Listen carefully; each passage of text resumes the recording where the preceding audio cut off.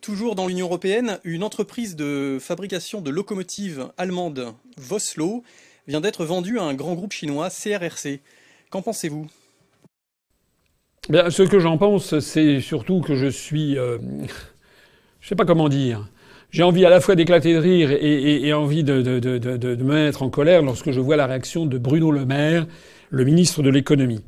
On a appris en effet, euh, c'était hier je crois, que euh, l'entreprise de fabrication allemande de locomotives qui s'appelle Voslo, V-O-2-S-L-O-H, va être vendue à la grande entreprise chinoise CRRC. Et Monsieur le maire a piqué une colère parce qu'il s'est rappelé que la fusion Alstom-Siemens en matière ferroviaire, il y a quelques mois, on en avait parlé, avait été interdite par la Commission européenne, en l'espèce par la commissaire à la concurrence, Mme Margrethe Verstaller, euh, ou Verhalter, je ne sais plus, qui était une Danoise, euh, qui est d'ailleurs toujours en poste jusqu'au mois de novembre. Euh, ça avait été interdit au motif que ça risquait de faire un monopole, nanani nanana, et donc c'était la lutte contre les monopoles. La France avait protesté, l'Allemagne aussi, en disant que s'il n'y avait pas cette fusion Alstom-Siemens, on allait servir sur un plateau d'argent le marché ferroviaire en Union européenne aux Chinois. Bien. Ça n'avait pas fait plier Margrethe, là, que cette, commissaire danoise, jamais élue par personne et qui décide du sort de notre industrie ferroviaire. Enfin, vraiment que les Français comprennent ce que c'est que la construction européenne dans une pipe. On est en train de détruire l'industrie ferroviaire française parce qu'une Danoise a décidé qu'il y en était ainsi, une Danoise qui n'a jamais été élue par personne, même pas par des Danois. Voilà. Ça, c'est la construction européenne au jour le jour. Et puis, monsieur euh, Maire, effectivement, était en colère à ce moment-là. Il est encore plus en colère lorsqu'il se rend compte que désormais, eh bien, c'est une entreprise de fabrication de locomotives allemandes qui est vendue à CRRC. C'est-à-dire qu'on contribue de plus en plus à donner, à livrer le marché ferroviaire aux Chinois en Europe, en Union européenne. Alors, qu'est-ce que je peux dire là-dessus? J'ai vu un, message Twitter de monsieur, euh, de monsieur Le Maire qui a dit Je ne supporte pas une Europe qui ne défend pas nos intérêts et qui ne protège pas nos citoyens. Allez regarder, le, voilà, vous voyez apparaître à l'écran ce message Twitter. Alors qu'est-ce que je dirais moi à Monsieur le maire? Monsieur le maire, vous mentez, vous supportez cette Europe puisque vous ne voulez pas en sortir, justement. Ah, ça sert à quoi de dire je ne supporte pas cette Europe qui ne défend pas nos intérêts, qui ne protège pas nos citoyens, puisque justement, elle ne défend pas nos intérêts, elle ne protège pas nos citoyens et depuis 60 ans, et vous voulez y rester. Donc vous la supportez. Donc vous mentez. Vous devriez dire je suis un eunuque, on m'a coupé toutes les possibilités de mener une politique indépendante pour défendre le peuple français, et donc je me soumets à une Union européenne qui ne défend pas nos intérêts, qui ne protège pas nos concitoyens. C'est ça que vous devriez dire, monsieur le maire. C'est pas autre chose. Allons un peu au-delà. Ça veut dire quoi dans la bouche du ministre, je ne supporte pas une Europe qui ne défend pas nos intérêts. Nos intérêts, mais les intérêts de qui? C'est qui nos Nos intérêts. Et qui ne protège pas nos citoyens? C'est qui les citoyens? Parce que, monsieur le maire, il faut que vous compreniez bien que pour les actionnaires allemands de l'entreprise Voslo qui vendent cette entreprise aux Chinois, c'est leurs intérêts.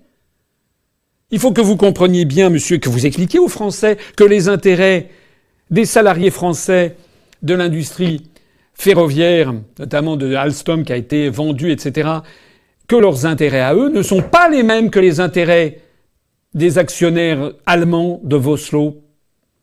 Vous faites croire qu'il y aurait des intérêts européens, qu'il y aurait une Europe qui protégerait les citoyens européens. Mais vous mentez. Tout le problème de l'Europe, c'est que justement, il y a en France des intérêts nationaux qui ne sont pas les mêmes que les intérêts nationaux danois, allemands, grecs, polonais, tout le problème de la construction européenne. Il est là, justement.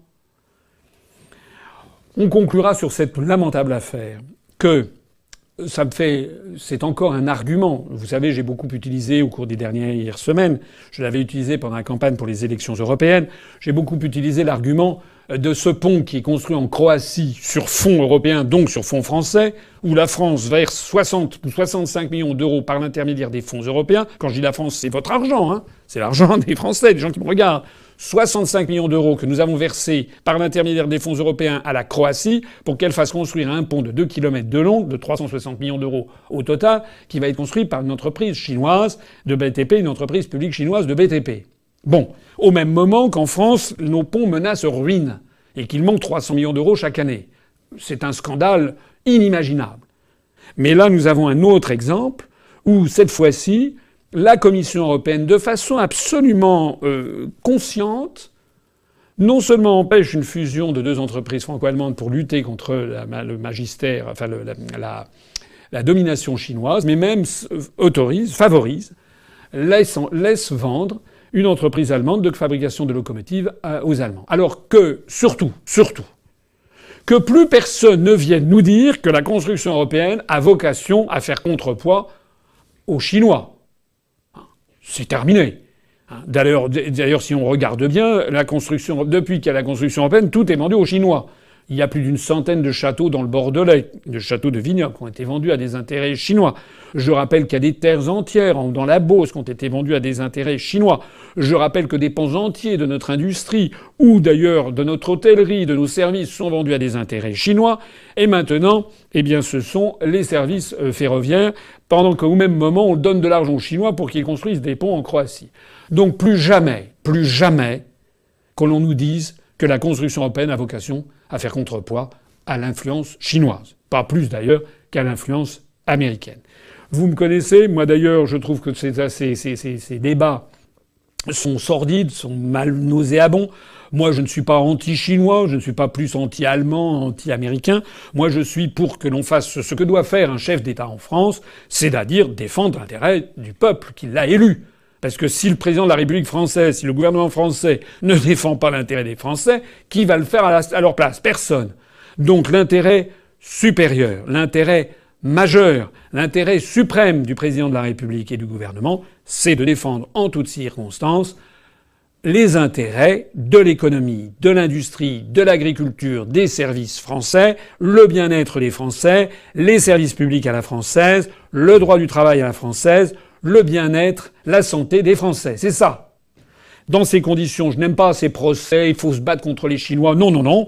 Moi, je trouve que nous avons des liens avec la Chine, par exemple en matière d'industrie nucléaire, en matière aéronautique. C'est très bien qu'on ait des coopérations industrielles avec la Chine, avec l'Allemagne, avec le Brésil, avec le Japon, avec l'Algérie, avec la Russie, avec, euh, avec le plus grand nombre de pays du monde.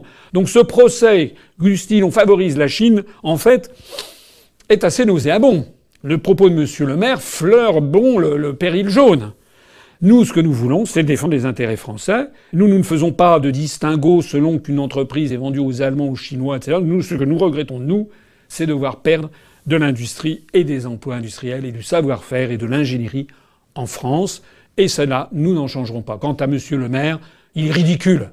Il devrait démissionner, il devrait dire finalement, excusez-moi, je vous ai baratiné, en fait je suis euh, un minus, je suis dans ce gouvernement pour avoir une voiture avec gyrophare. En fait, je n'ai aucune possibilité de défendre l'industrie française et l'économie française. Il en a fait la preuve. Monsieur Montebourg l'avait constaté. Au moins, Monsieur Montebourg, qui avait été ministre du redressement industriel, au moins a-t-il eu euh, l'honnêteté de reconnaître sur une chaîne de, sur Internet il y a quelques semaines. Vous rappelez que, euh, en fait, euh, l'Union européenne est en train de détruire l'industrie française et qu'il fallait revenir aux nations.